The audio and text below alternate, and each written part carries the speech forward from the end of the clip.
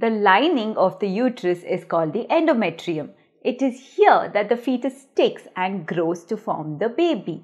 So it is very important that the endometrium has adequate blood flow to support the growing embryo.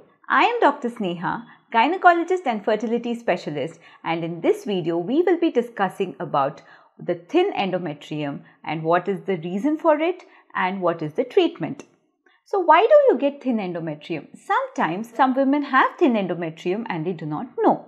This may be because they may get pregnant naturally also. However, when you go for assisted reproductive techniques, we do scans to monitor your lining of the uterus which is the endometrium. If it is thin, then it becomes an issue. So what are the reasons why the endometrium may be thin? It may be due to synechiae, which are the endometrial adhesions. This is called Asherman syndrome. This may be due to a prior surgery on the uterus or it may be due to an infection in the uterus which causes these adhesions or stickiness inside the endometrium and this causes a thin endometrium.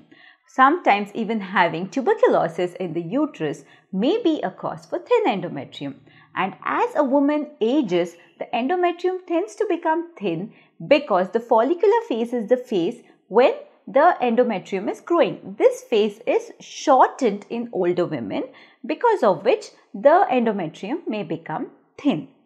Also, when we do assisted reproductive techniques, when we are monitoring a woman for her cycles and we see that the endometrium is thin, we may have to resort to other treatment options. Sometimes using contraceptions which contain progesterone may also thin the endometrium. During an embryo transfer cycle, we may prepare the endometrium in two ways. One is by giving estrogen from exogenous, where we give exogenous estrogen. Estrogen is the hormone which grows the endometrium. So it is very much required. So when we give it from outside, it may be in different forms. It may be in a tablet form or a transdermal form where we ask you to put estrogen on the skin or it may be insertion of estrogen pellets into the vagina. So these are the different ways in which estrogen is given and we monitor for the growth of the lining. The other one is by giving endogenous estrogen by stimulating the production of endogenous estrogen which is the estrogen coming from your body.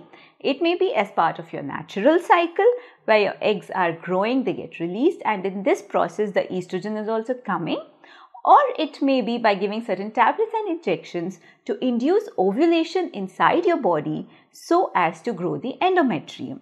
So once the endometrium is of adequate thickness and estrogen priming of the endometrium has happened, this is followed by a progesterone dose for about 6 days after which a day 5 blastocyst is put back into the uterus. So certain things we check if the endometrium is thin. What are the implications?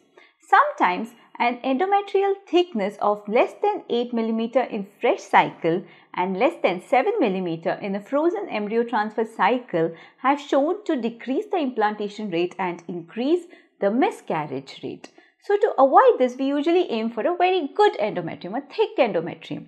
But however, this does not mean that all women have to get this endometrium there is a threshold, there is a limit to which a woman can grow her lining. So if we feel that that is the best the woman is going to grow, then we have done transfers and got pregnancies as well.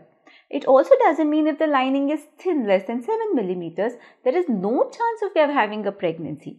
It may be that the woman tends to grow that endometrium and it is good enough to support the fetus. However, we may have to do additional tests to rule out that there is no other problem. One of it is the hysteroscopy, where we put the camera inside the uterus and see if there is any scar tissue adhesions in the uterus. If these are there, we try to cut it and correct it in the same sitting. After this, we get a good endometrial lining also. And there have been new technologies, new techniques which have been coming nowadays. It may be the use of platelet rich plasma or the PRP or growth hormone which is injected inside the uterus to favor the growth of the endometrium and achieve adequate thickness. However, these are experimental and need further research. So when we see a thin endometrium, we may have to change protocols. It is said that endogenous estrogen produces a better lining. So if we are not getting with exogenous estrogen, we may tend to use endogenous estrogen. or sometimes even vaginal penigram may be useful. So this increases the blood flow to the uterus and helps in the growth of a better lining. And occasionally, you know, certain supplements may be useful. It may be vitamin C or vitamin E, which increase the blood flow to the uterus or the use of ecosprin which is aspirin or the use of low molecular weight heparin may also be indicated to improve the lining of the uterus. So what is it that you can do to improve your lining? Maybe you can do regular exercises, eat healthy, keep the toxins away from your body and all these will help in building up a good endometrium and improve your chances of IVF success.